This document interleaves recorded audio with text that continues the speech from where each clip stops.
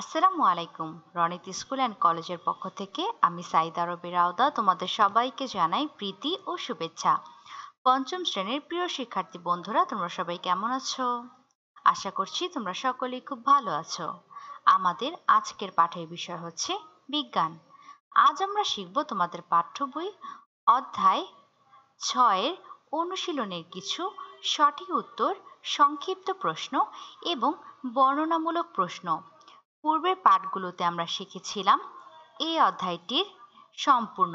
এই অধ্যায়টিতে আমরা শিখেছিলাম সুষম খাদ্য সম্পর্কে এবং আমরা আরও শিখেছিলাম ছয় থেকে বারো বছর বয়সের শিশুর একটি খাদ্য তালিকা সম্পর্কে, খাদ্য সংরক্ষণ সম্পর্কে এবং আমরা আরও শিখেছিলাম যে সকল খাদ্য আমাদের কম খাওয়া উচিত, সে সম্পর্কে কৃত্রিম রং ও রাসায়নিক পদার্থ মেশানো খাদ্য এবং জাঙ্ক ফুড সম্পর্কে।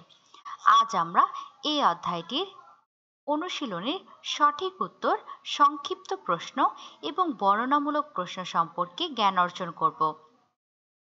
তাহলে চলো বন্ধুরা, আমরা প্রথমে সঠিক উত্তরগুলো দেখে নেই। প্রথমে, এক, কোনটি জাঙ্ক ফুড? বন্ধুরা, তোমরা লক্ষ্য করো, এখানে চারটি অপশন দেওয়া আছে। ক, পাউরুটি, খ, দই, গ, পরোটা, ঘ, পটেটো চিপস।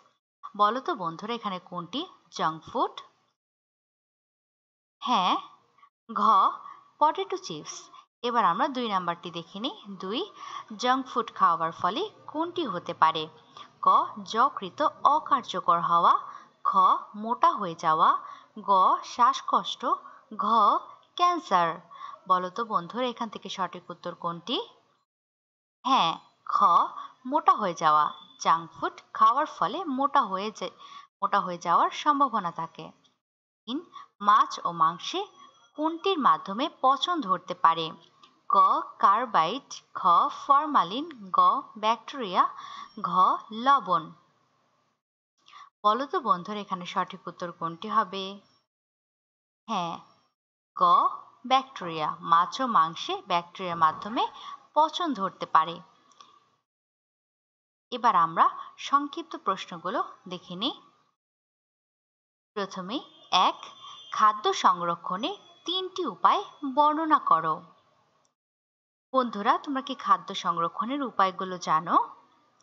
হ্যাঁ খাদ্য সংরক্ষণের তিনটি উপায় হলো, এক, রোদে শুকিয়ে সংরক্ষণ। এ পদ্ধতিতে খাদ্যদ্রব্যকে রোদে শুকিয়ে জীবাণুমুক্ত করে সংরক্ষণ করা যায়। যেমন, চাল, ডাল, গম ইত্যাদি রোদে শুকিয়ে সংরক্ষণ করা যায়। দুই, হিমাগারে সংরক্ষণ। এ পদ্ধতিতে হিমাগারে খাদ্যদ্রব্যকে অত্যাধিক ঠান্ডায় রাখা হয়।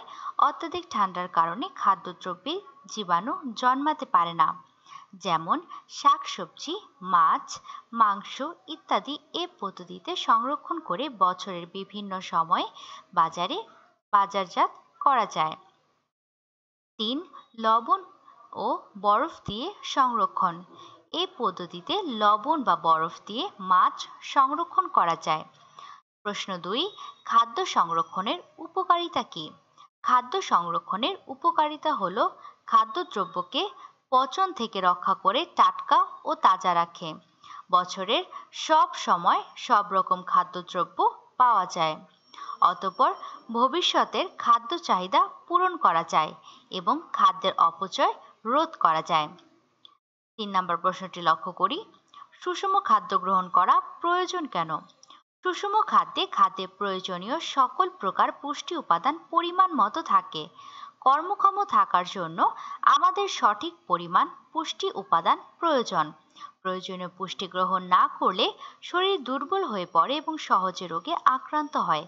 তাই আমাদের বয়স ও কাজের ধরন অনুযায়ী সঠিক পরিমাণে সুষম খাদ্য গ্রহণ করা প্রয়োজন। এবার আমরা চার নাম্বার প্রশ্নটি দেখি। ছয়টি খাদ্যদল কি কি? ছয়টি খাদ্যদল হলো খাদ্যশস্য ও আলু। এগুলো হচ্ছে শর্করা জাতীয় খাদ্য। অতপর শাক সবজি এগুলো হচ্ছে ভিটামিন এবং খনিজ লবণ সমৃদ্ধ খাবার। অতপর হচ্ছে ফলমূল, এগুলো ভিটামিন এবং খনিজ লবণ সমৃদ্ধ খাবার। অতপর মাছ, মাংস ও ডাল, এগুলো আমিষ জাতীয় খাবার। দুগ্ধ জাতীয় খাদ্য, এর মধ্যে রয়েছে ক্যালসিয়াম ও ভিটামিন এবং সর্বশেষে রয়েছে তেল এবং চর্বি। পাঁচ নম্বর প্রশ্ন, আমরা কীভাবে সুষম খাদ্য পেতে পারি? সুষম খাদ্যে সকল প্রকার পুষ্টি উপাদান পরিমাণ মতো বিদ্যমান। তাই খাদ্যের প্রতিটি দল থেকে সঠিক পরিমাণ খাদ্য উপাদান নির্বাচন করে আমরা সুষম খাদ্য পেতে পারি। সর্বশেষ প্রশ্ন, কোন কোন খাদ্যে কৃত্রিম রং ব্যবহার করা হয়? মিষ্টি, jelly, chocolate, ice cream, cake chips, কোমল পানীয় ইত্যাদি খাদ্যে কৃত্রিম রং ব্যবহার করা হয়। এবার আমরা বর্ণনামূলক প্রশ্নগুলো দেখে নিই। আমরা প্রথম প্রশ্নটি লক্ষ্য করি। একটি বার্গারে বিভিন্ন ধরনের খাবার, যেমন গরু মুরগির মাংস, টমেটো, লেটুস, পনির, পাউরুটি ইত্যাদি থাকে।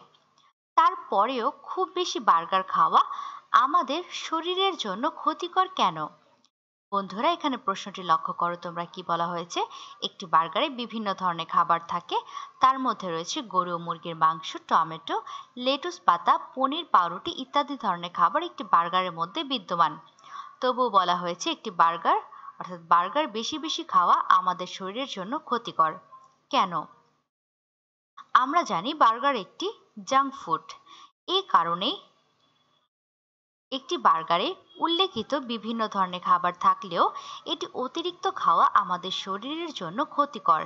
জাঙ্ক ফুড সুস্বাদু হলেও সুষম খাদ্য নয়। এ খাদ্য অত্যাধিক চিনি, লবণ ও চর্বি থাকে, যা আমাদের শরীরের জন্য সামান্যই দরকার।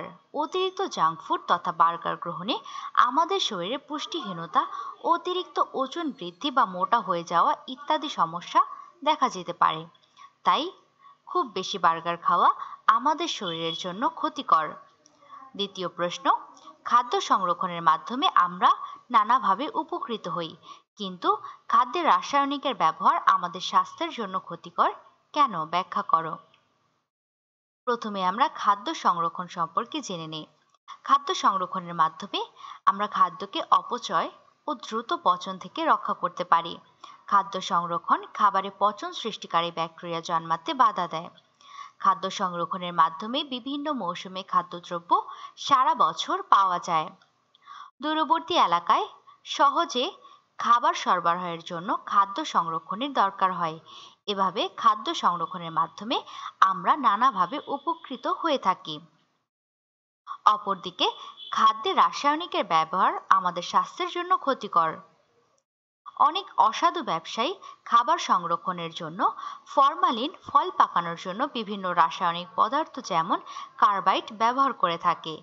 এ সকল ক্ষতিকর রাসায়নিক পদার্থ মিশ্রিত খাদ্য যখন আমরা গ্রহণ করি, তখন আমাদের বৃক্ষ ও যকৃত অকার্যকর হয়ে যেতে পারে। শরীরের বৃদ্ধিও কমে যেতে পারে, তাছাড়া ক্যান্সারের মতো রোগও হতে পারে। তাই খাদ্যে রাসায়নিকের ব্যবহার আমাদের স্বাস্থ্যের জন্য ক্ষতিকর। বন্ধুরা, আজকের এই পাঠ থেকে আমরা কি কি শিখতে পারলাম? আজকের এই পাঠ থেকে আমরা শিখতে পারলাম অধ্যায় ছয়ের গুরুত্বপূর্ণ কিছু সঠিক উত্তর, সংক্ষিপ্ত প্রশ্ন এবং বর্ণনামূলক প্রশ্ন। আশা করছি আজকের এই পাঠটি তোমরা খুব ভালোভাবে বুঝতে পেরেছ। আজকের এই পাঠটি তোমরা বাসায় বেশি বেশি করে অনুশীলন করবে। দেখা হবে পরবর্তী ক্লাসে নতুন কোনো পাঠ নিয়ে। সেই পর্যন্ত সবাই ভালো থেকো, সুস্থ থেকো। আসসালামু আলাইকুম, আল্লাহ হাফিজ।